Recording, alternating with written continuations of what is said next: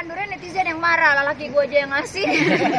Gitu makanya zaman sekarang tuh kayak uh, posesifnya tuh netizen yang lebih posesif. Sebetulnya makan apa pun boleh asal jangan berlebihan. iya makanya boleh aja nyobain kan cicipin dikit ambil ya. bukan Dikit-dikit apa boleh saya. boleh. Boleh dikit-dikit lah. enggak aku mah banyak juga. Dan makanya yang penting kita kan tahu kondisinya. Kayak aku uh, minum kopi tuh dari sebelum hamil tuh udah kayak wajib banget minum kopi.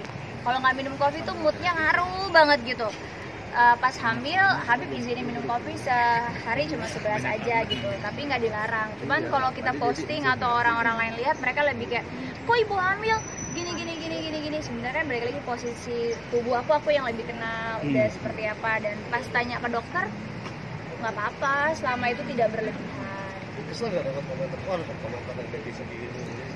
Guruin gitu nggak aku mah ketawa aja. Paling ya gitu laki gue jangan apa-apa gitu. Ada yang iya, ada yang bikin stres nggak? Maksudnya komentar netizen? Oh enggak. Aku mah nggak bikin stres nggak dipikirin.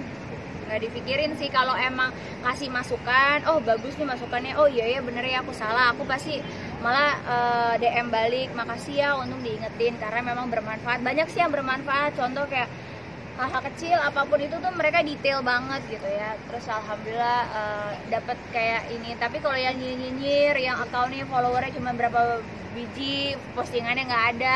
Aku bilang ah ini mah mungkin mantan mantan yang ya paling gitu-gitu aja sih nggak mau sih. Karpo tapi ada kebiasaan baru nggak nih menjelang kelahiran? kebiasaan baru. Mungkin Anak-anak sih alhamdulillah semuanya nggak sabaran. Iya. Yang paling gede pengennya laki, laki yang nomor dua Cewek. pengennya cewek, yang nomor Cowok. tiga pengennya cowok.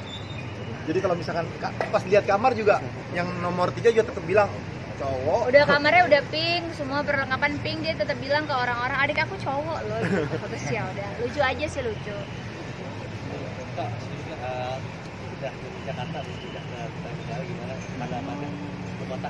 dukung aja lah semua. Dukung aja lah kalau aku pribadi sih semuanya. Pasti uh, yang terbaik pemerintah pasti punya rencana yang terbaik. Jadi kita sebagai warga negara yang baik harus mensupport kalau emang itu udah keputusan yang terbaik